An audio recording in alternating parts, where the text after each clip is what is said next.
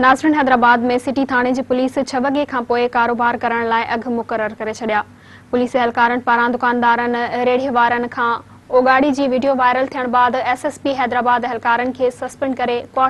करे छॾियो आहे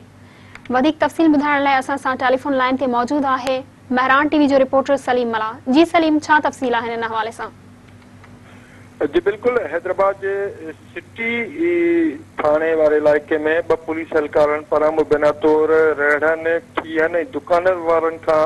पैसा वठण वारी जेका वीडियो आहे वायरल थियण खां पोइ एस एस पी ई जेको आहे नोटिस वरितो आहे ऐं ॿ पुलिस एलकारनि खे मुतल करे क्वार्टर गार्ड करण जो हुकुमु ॾिनो आहे जिन पुलिस एलकारनि खे मुतल कयो वियो आहे तिन में हेड कॉन्स्टेबल मोहम्मद अली ऐं कॉन्स्टेबल मोहम्मद हाशिम शामिल आहिनि अॼु जेको आहे हिकिड़ी वीडियो वायरल थी हुई जंहिंमें सिटी थाणे जा जेके एलकार आहिनि उहे छह वॻे खां पोइ दुकान रहिणा ठिया खोलण ते जेको आहे उहो पैसा वठी रहिया हुआ जंहिंजो एस एस पी नोटिस वरितो आहे ॿिनि ॼणनि खे मुतल करे क्वार्टर गार्ड करण जो हुकुम ॾिनो आहे जी